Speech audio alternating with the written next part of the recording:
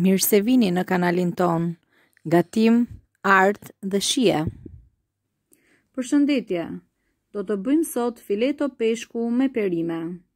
Perimet që do të përdorim janë spec i kuq, spec jeshil, patëllxhan, kunguj dhe një kokërr qepë. Gjithashtu dhe dy peshq të mëdhenj të cilëve i kam hequr halat, gjithashtu dhe boshtin dhe i kam bërë, i kam prerë në fileto. Atëherë do të presim qepën në rrathë apo në feta të trasha, të cilat do t'i pjekim në zgarë. Atëherë këto janë perimet që unë po përdor por ju mund të përdorni çfarëdo lloj perimi që ju dëshironi, gjithashtu dhe llojin e peshkut si e doni ju, si e dëshironi ju. Atëherë, fillojmë dhe i presim të gjitha perimet.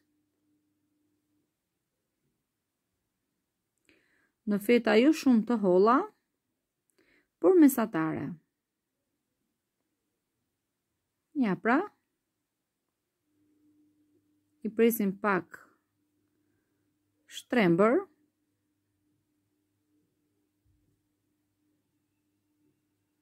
duken edhe më bukur por skuqen edhe piqen më mirë vazhdojmë një nga një perimet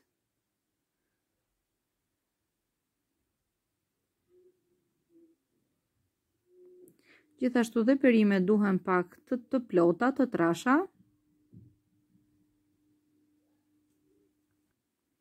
Gjithashtu ju mund të përdorni edhe karota, selino, pra në bazë të dëshirës suaj dhe preferencave.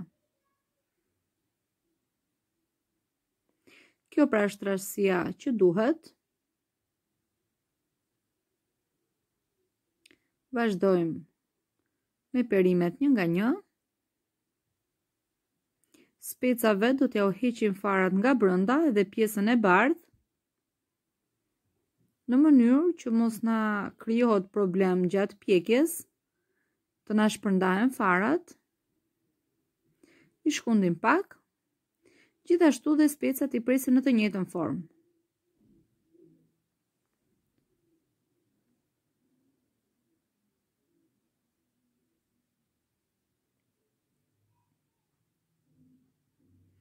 Më parë peshkun e kemi marinuar me kripë dhe me piper, gjithashtu dhe me vegetë. Do kujdes te kripa, sepse dhe vegeta përmban kripë vetë.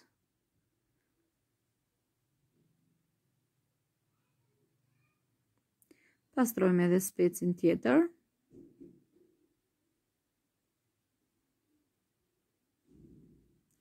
Mund t'i prisni edhe për së gjati, pra në formë shkopinjsh,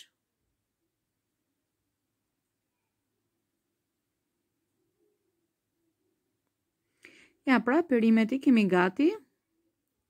Dhe tani do të vendosim tiganin zgarë për t'i pjekur. Do të shtojmë vaj ulliri. Dhe sapo vaji të nxehet, do të hedhim perimet një nga një.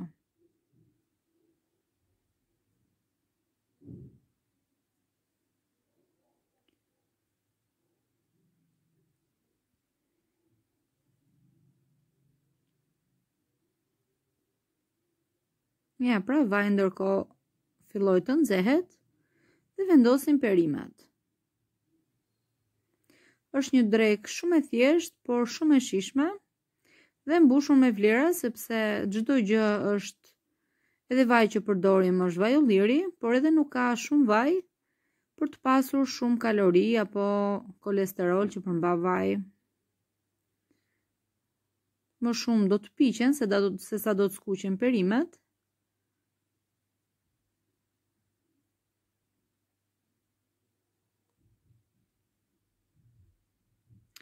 I rendisim një nga një në tavë.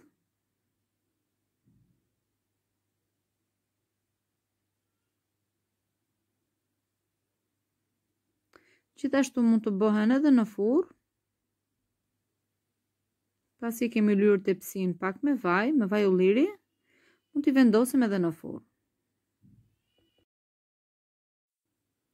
Patëllxhanët më përpara i kemi larë dhe i kemi vendosur në një tas me ujë dhe kripë.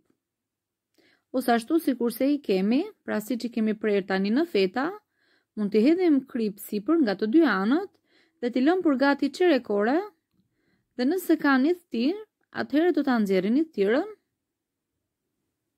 Por edhe në ujë me kripë funksionon shumë mirë. Më pas i thajmë mirë e mirë me letër kuzhine dhe i kemi gati për t'i pjekur. Shtojmë mbi patëllxhanët dhe perimet e tjera vaj ulliri dhe kripë. Do të ndihmojë shumë kripa për të ulur vëllimin. Dhe fillojmë i kthejmë. Dhe i shikojmë perimet, ato që janë bërë i kthejmë. Të tjerat i lëmë të vazhdojnë sërish.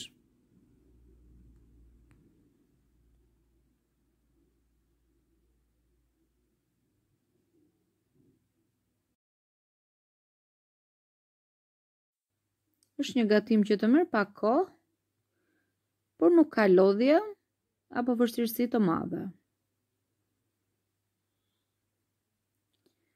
Ja pra, i kthejmë dhe i shikojmë, i kontrollojmë.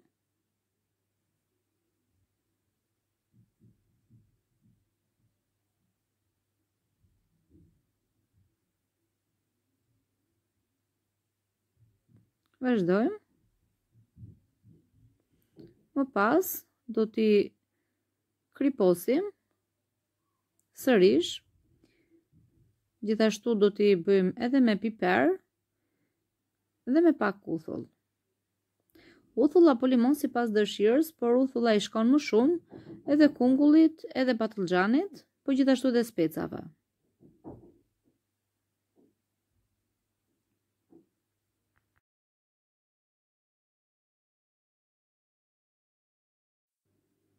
I kthejmë herë pas here.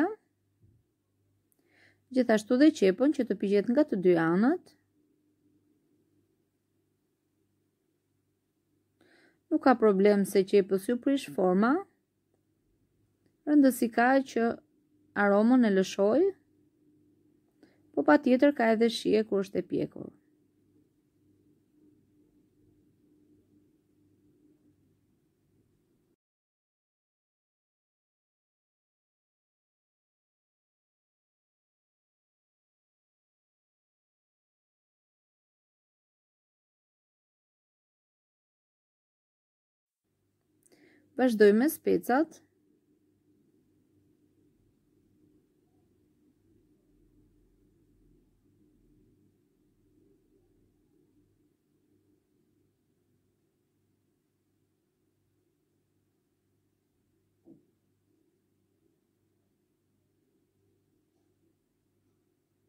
Ka një shije të veçantë dhe specat e pjekur, ndryshe nga specat e skuqur.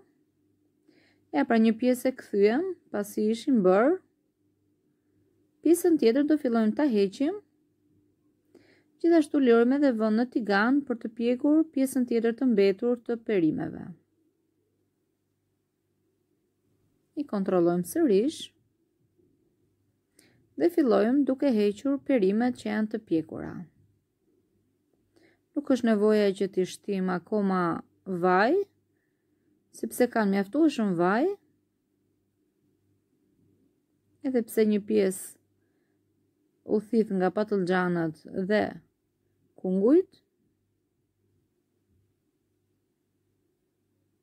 është një tigan që nuk ngjit, kështu që nuk është problem sasia e madhe e vajit. Fillojmë dhe i heqim.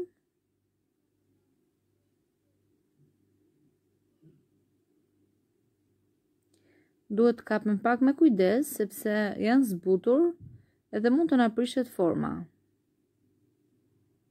Vaj shumë nuk kanë thithur,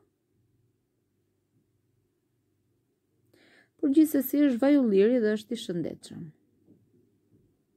Kthejmë edhe pak nga të dy anët.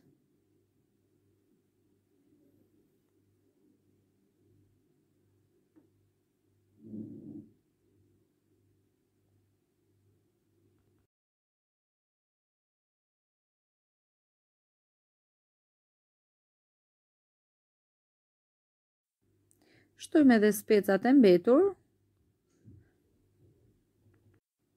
Vazhdojmë pra të vendosim edhe specat e mbetur. Ja pra të gjithë specat i vendosëm dhe fillojmë të heqim perimet që janë skuqur, që janë pjekur, në këtë rast patëllxhanët. Ato që nuk janë bërë i kthejmë sërish nga ana tjetër. Varet nga dëshira juaj se sa i doni të pjekur, por kaq mua më duket mjaftueshëm. Atëherë fillojmë dhe vendosim filetot e peshkut. Është një alternativë shumë e mirë nëse keni dhe fëmijë të vegjël, sepse duke i hequr halat, atëherë jeni më të qetë për t'ia dhënë fëmijëve. dhe më të sigurt. Edhe peshkun, sikurse dhe perimet, do ta pjekim nga të dy anët, sikurse dhe thashë, peshkun e kemi marinuar me kripë dhe piper, edhe pak vegetë. Por nëse doni erën karakteristike dhe shijen e peshkut, edhe mos i shtini vegetë, është opsionale. I hedhim dhe pak krip sipër. Gjithashtu dhe vaj ulliri, sepse vaj që ishte u pi nga perimet, u thith nga perimet. Shumë pak, sa për ta zbutur pak, edhe fillojmë e kthejmë e kontrollojmë, Gjithashtu dhe peshku do kujdes kur kthehet, sepse është zbutur goxha.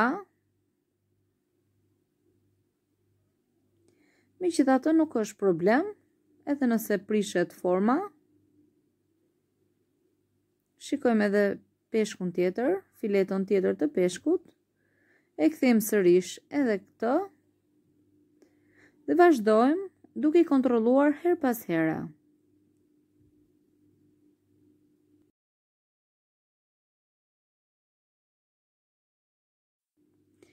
Kontrollojmë edhe perimet e mbetura. Dhe fillojmë i heqim.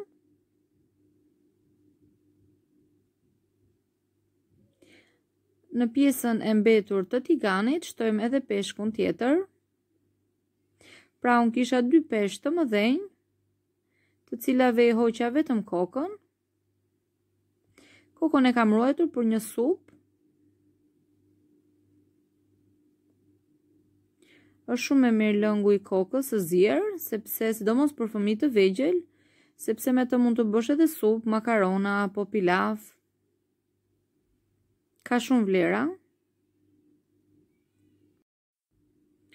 e kthejmë edhe pjesën tjetër të mbetur të peshkut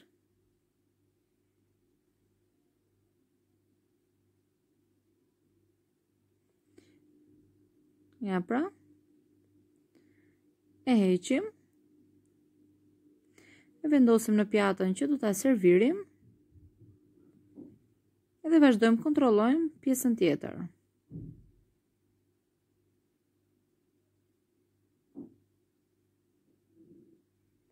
Edhe peshkun mund ta bëjmë në tavë. Por këtu është më i butë, qëndron më i butë. Kurse në tavë thahet më shumë. Në furrë pra.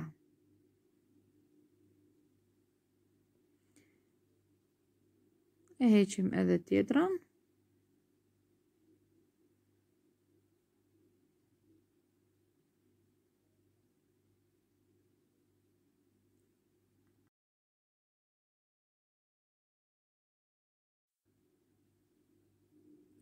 Vazhdojmë i kontrollojmë.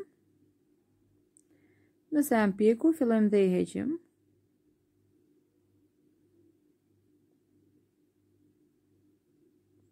Me kujdes, sepse është shumë i butë, është zbutur shumë, Do ta servirim dhe me bukë të thekur, të cilave do t'i shtojmë vaj ulliri dhe kripë.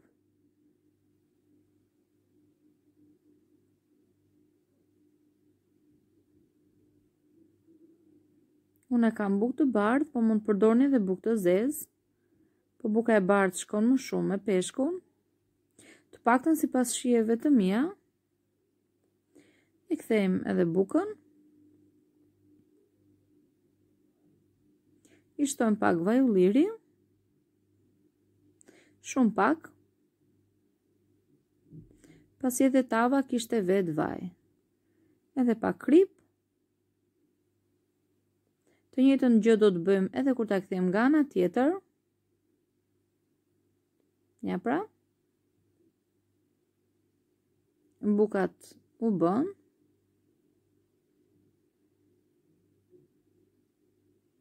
Nëse doni, patjetër që mund të bëni sërish buka. Atëherë i shtojmë pak uthull, unë kam aceto balsamiko, edhe pak vaj ulliri mbi perime, ndërsa në peshk, mbi peshk mund të shtoni vaj ulliri dhe pak limon. Por nuk po i shtie limon, përderisa kam shtënë uthull, nuk dua që ta ngatërroj shijen. Shtojmë edhe pak kripë perimeve dhe kjo është forma që kanë marrë. Faleminderit që qëndruat me mua, kalofshi bukur!